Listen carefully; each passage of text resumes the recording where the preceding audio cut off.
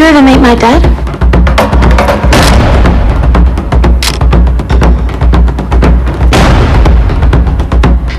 You know, Mum, if you keep giving him treats, he'll just come back for more. Mark Peterson's on the phone. Tell him I've gone.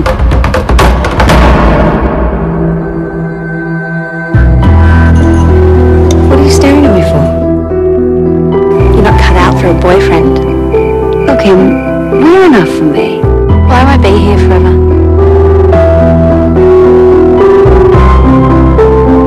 Why don't you eat with us? All that points for subtly.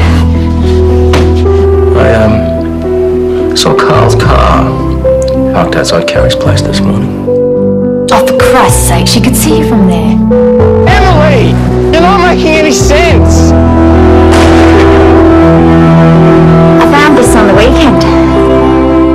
Well, it says Emily and Susan. Has to belong to you. Emily. How many times do we have to go through this? They left us, remember? They wanted me to get rid of you. They're ashamed of us.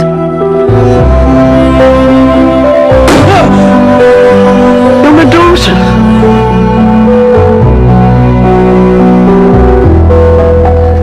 Have fun, did we? Police business is never fun. I saw you